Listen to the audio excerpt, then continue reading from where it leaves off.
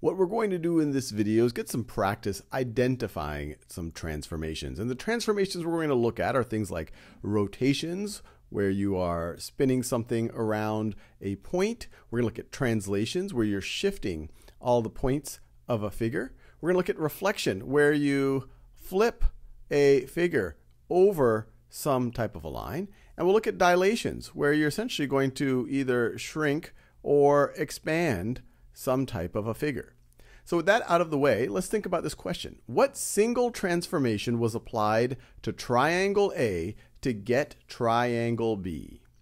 So it looks like triangle A and triangle B, they're the same size. And what's really happened is that every one of these points has been shifted, or another way I could say it, they have all been translated a little bit to the right and up. And so, right like this, they have all been translated. So this right over here is clearly a translation. Let's do another example. What single transformation was applied to get what is applied to triangle A to get to triangle B? So if I look at this these diagrams, this point seems to correspond with that one. This one corresponds with that one. So it doesn't look like straight translation because they would have been translated in different ways. So it's definitely not a straight translation.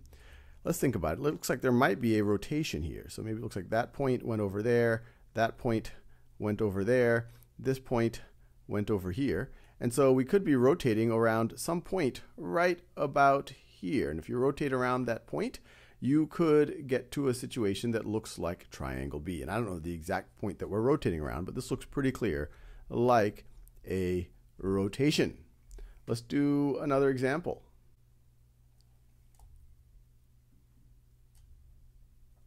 What single transformation was applied to quadrilateral A to get to quadrilateral B? So let's see, it looks like this point corresponds to that point. And so it's, and then this point corresponds to that point, and that point corresponds to that point.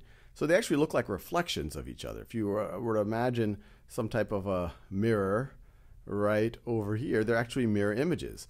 This got flipped over the line, that got flipped over the line, and that got flipped over the line. So it's pretty clear that this right over here is a reflection. All right, let's do one more of these. What single transformation was applied to quadrilateral A to get to quadrilateral B? All right, so this looks like so quadrilateral B is clearly bigger. So this is a non-rigid transformation. The distance between corresponding points has, looks like it has increased.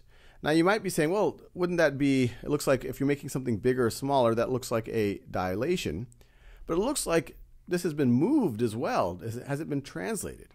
And the key here to realize is around what is your center of dilation? So for example, if your center of dilation is let's say right over here, then all of these things are going to be stretched that way. And so this point might go to there, that point might go over there, this point might go, this point might go over here, and then that point might go over here. So this is definitely a dilation where you are, your center where everything is expanding from is just outside of our trapezoid A.